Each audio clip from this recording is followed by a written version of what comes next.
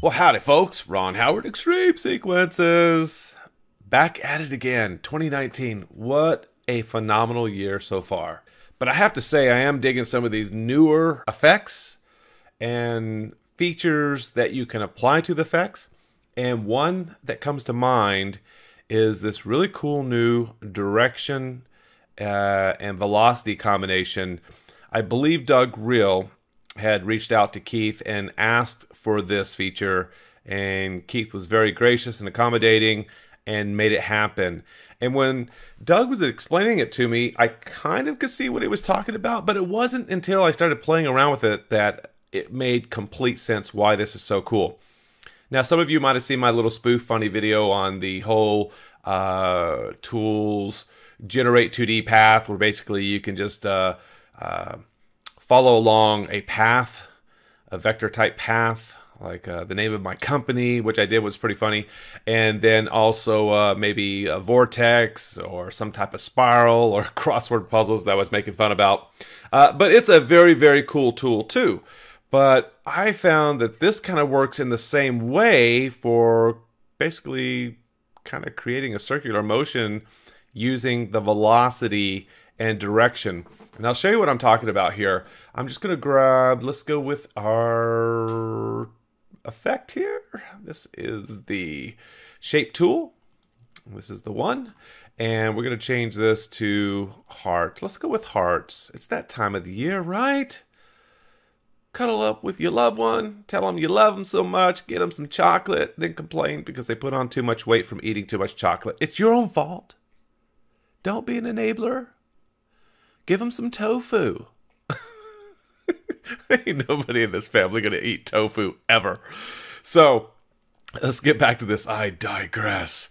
So let's make these a little bit thicker. Start size, that's fine. So what? Watch what happens with this uh, direction. See if I if you move this around a little bit, you can see that they're trying to do something, but uh, they're not really moving, Ron.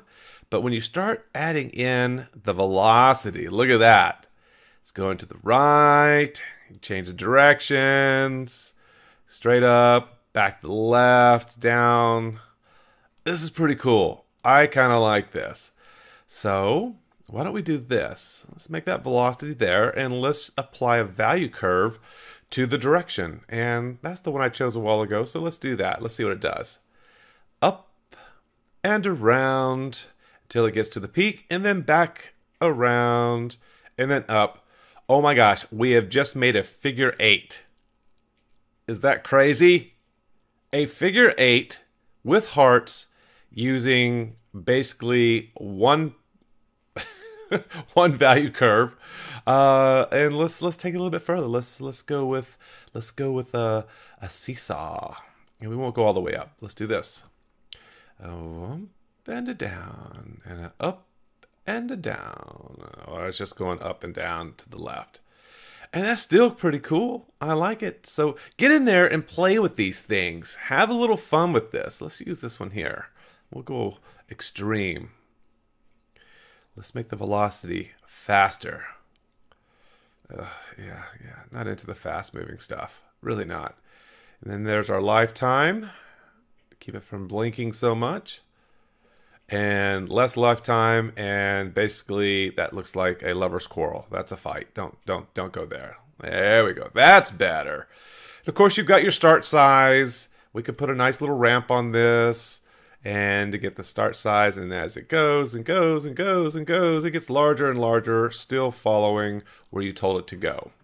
All right pretty cool. I wonder what one of these would do. Let's try it. Hmm. Oh oh wow Okay, check that out. I like that. I really, really like that. And this guy here was from, uh, that is from my, my spiral.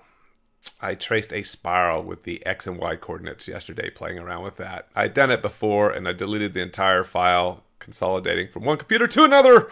So I had to start over. But that's okay. That's good practice. All right. Anyway, I hope that helps.